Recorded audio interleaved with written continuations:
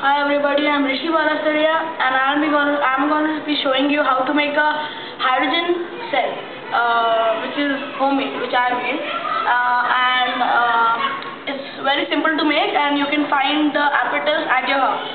First you need a Fevicol, uh, you need some salt, you need a spoon, you need a bottle.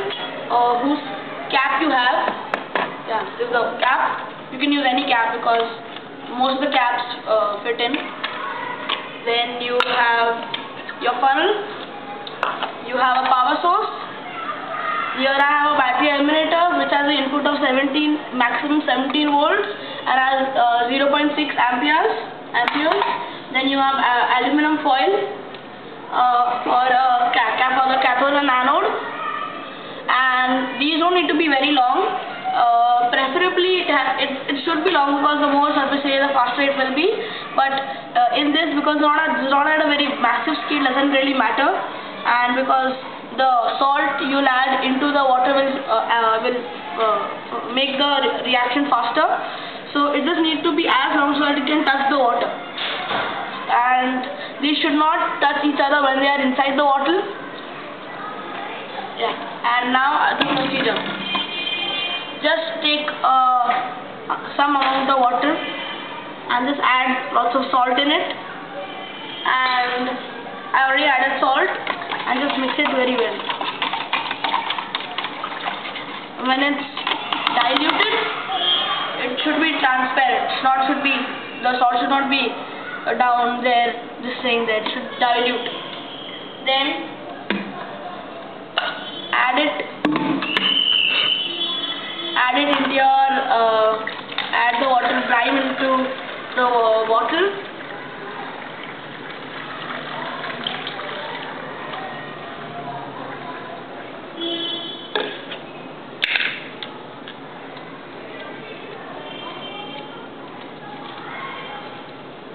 Yeah, this I will add some less water, but I will add some water in my final one. And what you do is you add both of them and add some more water of course and then you just close them up. But now how will the hydrogen oxygen come out so what you need to do is take your cap make a hole in the center with your scissor or your sharp any sharp thing or you can light it up. I did with the with the hydrogen torch and just light it up.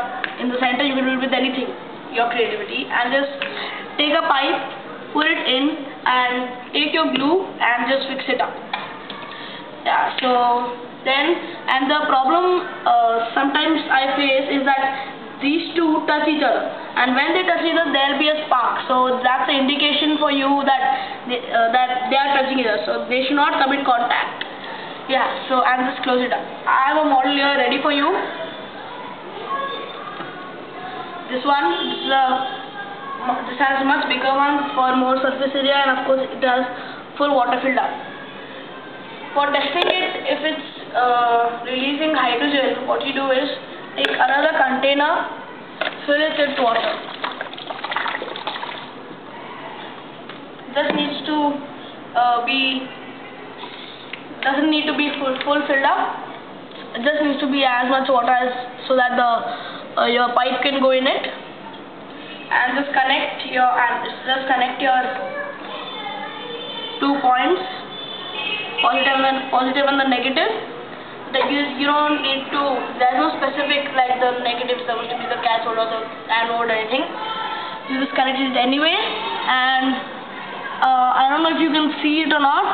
There is some production of hydrogen and oxygen. Uh, if you can't see it you will be able to know it because it's getting opaque.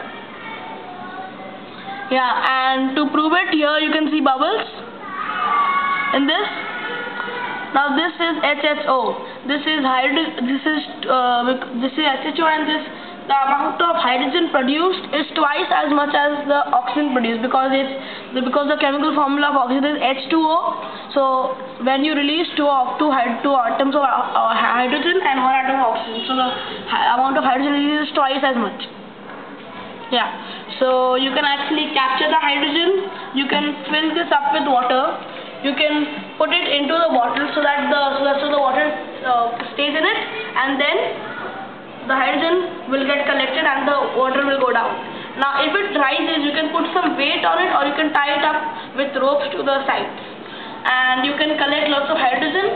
And then, if you want to have a great time, just blast it up with a matchstick or downwards. If you do it downwards, the flame the flame ball will go downwards and there will be a huge noise but if you do it upwards you can see a flame ball and lots of smoke. Thank you.